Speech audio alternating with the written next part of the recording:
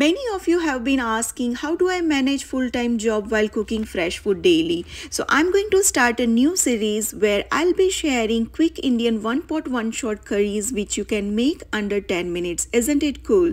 So let's learn how to make creamy butter paneer curry in instant pot today.